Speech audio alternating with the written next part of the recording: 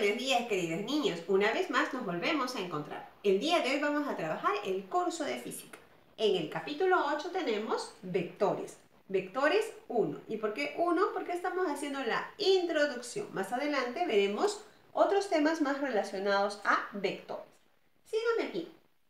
Observas, tengo un avioncito.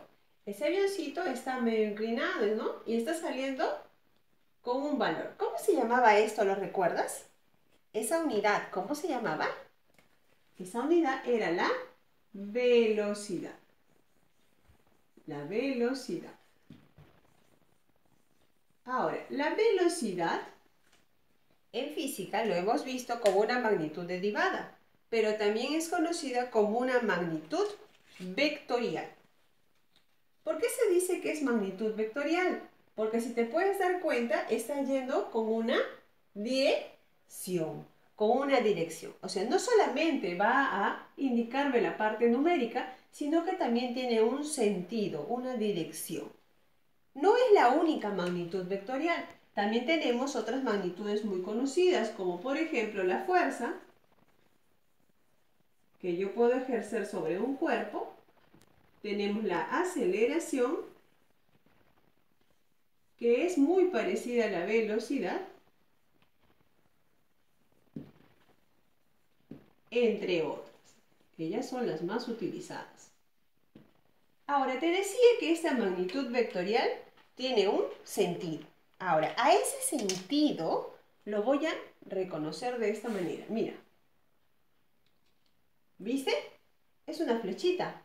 Esa flechita recibe el nombre de vector. Entonces, si yo quiero hablar de vector, ¿qué voy a decir? Que el vector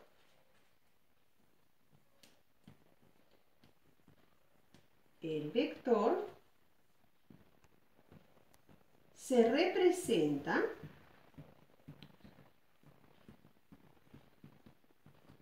¿Con qué se representa? Con una, con una flecha. Este vector presenta tres elementos importantes.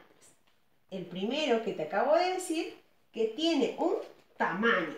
Voy a colocarle que tiene un tamaño. Este tamaño es la medida, la medida.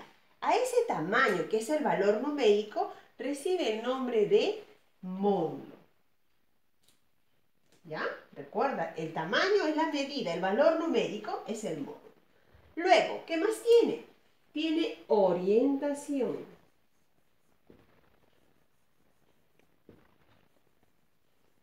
Orientación. La orientación está dado por el sentido. Si va hacia arriba, hacia abajo, a la derecha, izquierda, noreste, sureste, es la orientación. Y por último, la referencia.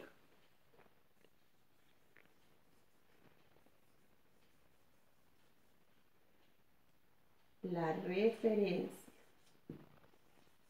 La referencia de por sí me va a dar la base y cómo, cómo se está elevando. A eso lo vamos a conocer como dirección. En otras palabras, ¿qué voy a decir aquí? Obsérvame, mira, aquí tengo el vector, lo he graficado. Y si yo quiero hablar de módulo, el módulo lo voy a encontrar acá.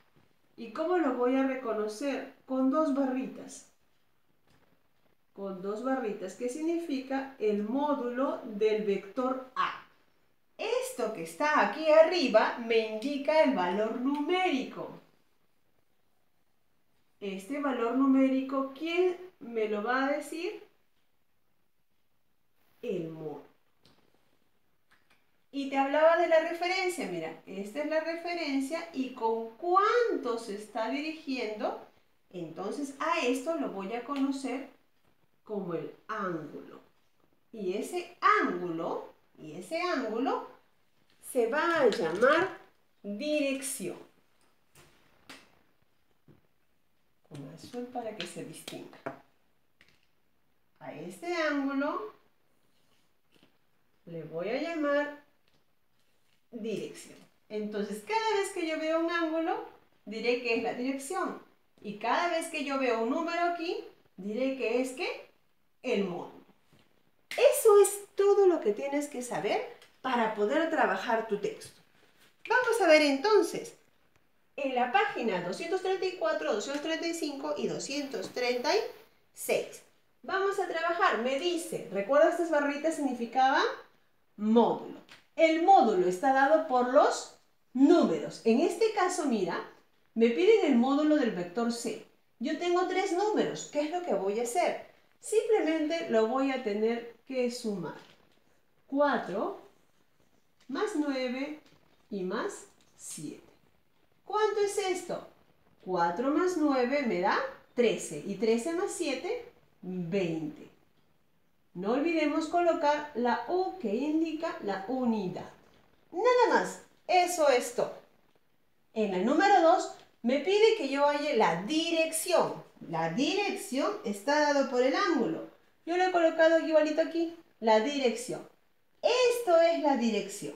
Entonces, ¿qué voy a decir?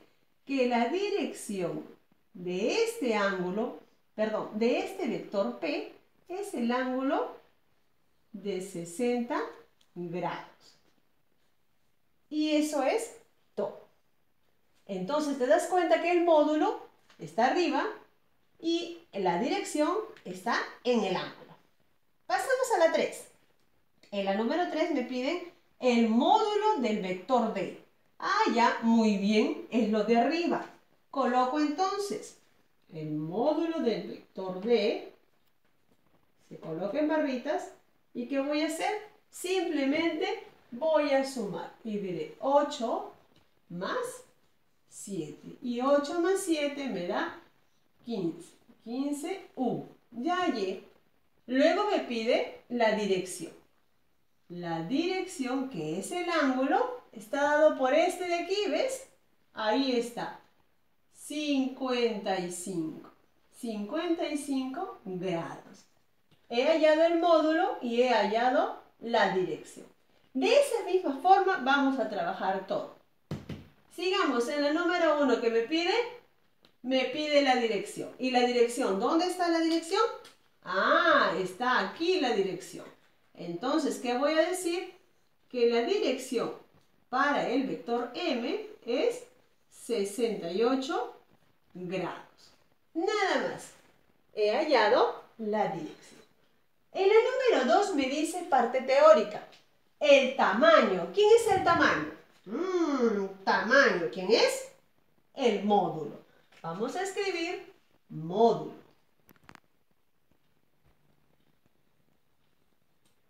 módulo.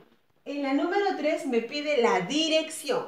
¿Qué me indica la dirección? La dirección que me indica la referencia o el ángulo. Entonces coloco aquí ángulo. En la número 4, el vector representado por... ¿Por qué se representa el vector? ¿Quién representaba el vector? ¿Quién? Una flecha. Una flecha. Ya está.